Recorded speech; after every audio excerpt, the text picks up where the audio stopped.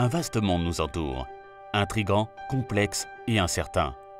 Confrontant l'homme à ses choix, grâce à son instinct, il a su relever les défis de son temps. Un nouveau monde vous attend. Faites-en partie avec Active Trades.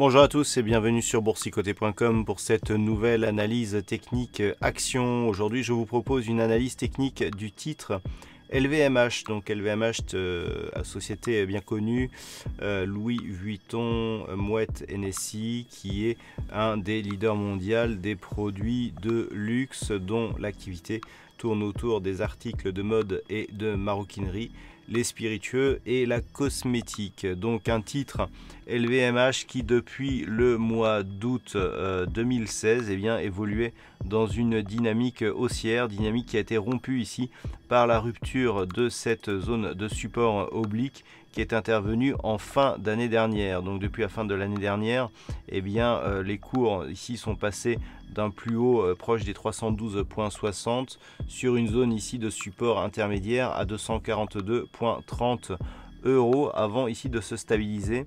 La résistance ici qui définissait cette tendance court moyen terme, eh bien, ayant été cassée à la hausse, on l'a aussi validé en tant que support. Il n'y a pas de reprise du mouvement haussier, mais les cours se stabilisent donc entre cette zone des 242.30 et une zone intermédiaire à 264.50 euros. Du point de vue des indicateurs techniques, le RSI ici évolue dans un biais neutre, dans une tendance légèrement haussière. Le MACD, lui, est en train de nous donner un signal euh, d'affaiblissement sur la tendance court terme, voire de neutralisation. Mais les histogrammes ici évoluent plutôt dans la euh, partie supérieure, ce qui nous donne un biais de fond euh, plutôt légèrement haussier. Alors, comme on l'a vu, pas de grande tendance de point de vue directionnel donc sur ce titre LVMH. Les chiffres de l'année 2018 vont être dévoilés aujourd'hui. Et le fait que nous soyons ici dans un range peut être assez intéressant du point de vue de l'analyse technique. Pourquoi? Tout simplement parce que nous sortons ici d'une zone de baisse assez marquée, que les cours donc se stabilisent entre deux niveaux eh bien, par rapport aux chiffres donc, qui euh, vont être diffusés, nous pourrions avoir une sortie ici des cours par euh, une cassure ici haussière des 264.50, ce qui donnerait un signal de retournement. Si tel était le cas, on pourrait revenir ici sur l'analyse un peu plus moyen terme pour constater que euh, sur cette tendance, eh bien, nous pourrions apparenter ce mouvement comme un mouvement de consolidation, auquel cas si on trace ici les retracements de Fibonacci, eh bien, nous pouvons constater que eh bien, celui-ci aurait euh, testé euh, la zone des 38,2%. On peut d'ailleurs remarquer que les retracements de Fibonacci ici nous donnent des niveaux de support résistance assez intéressants. On voit ici le travail qui a été effectué sur le retracement des 23,6, cassé qui est devenu résistance, cassé à la hausse qui est devenu support avant euh, d'être gapé à la baisse pour redevenir résistance. On est venu chercher ici le retracement à 38,2% de Fibonacci avant de se stabiliser. Dans cette configuration, nous pouvons considérer que euh, le retour ici sur ce retracement à 38,2% peut constituer un objectif de consolidation.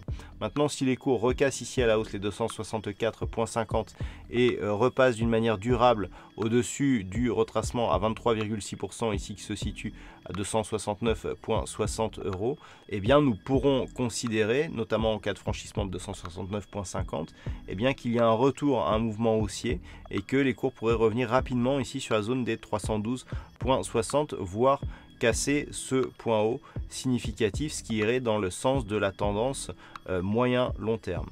Par contre, en cas de rupture ici du retracement à 38,2% de Fibonacci, eh bien, il y aurait un signal de, de possible poursuite euh, du mouvement de consolidation.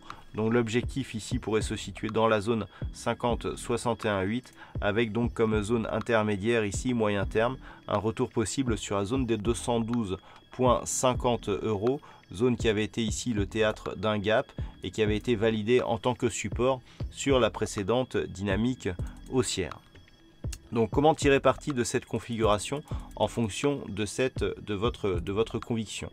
Soit vous avez un biais haussier qui sont confirmés donc par les publications annuelles et dans ce cas-là vous pouvez effectivement euh, tenter une entrée à la hausse sur le, euh, sur le titre LVMH.